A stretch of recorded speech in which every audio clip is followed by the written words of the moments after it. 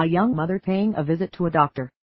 A young mother paying a visit to a doctor friend and his wife made no attempt to restrain her five-year-old son, who was ransacking an adjoining room.